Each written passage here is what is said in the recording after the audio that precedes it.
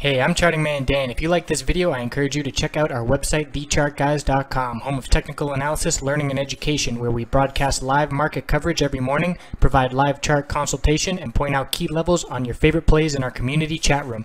Why not check out our free trial and join the best technical analysis community online?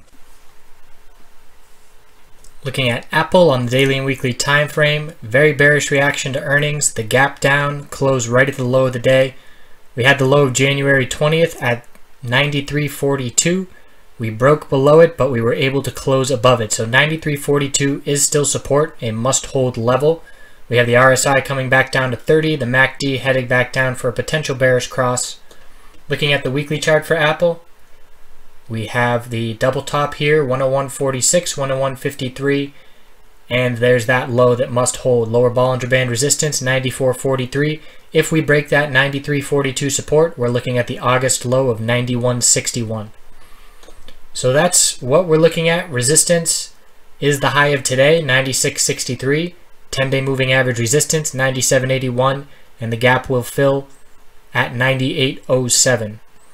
No signs of a bullish reversal. We'll be watching for a bullish reversal candlestick after a 6.5% red day.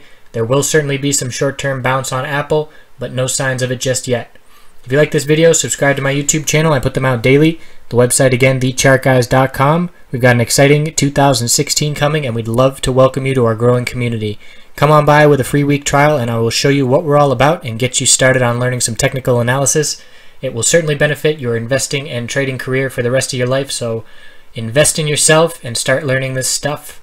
I appreciate you watching the video. Have a fantastic night.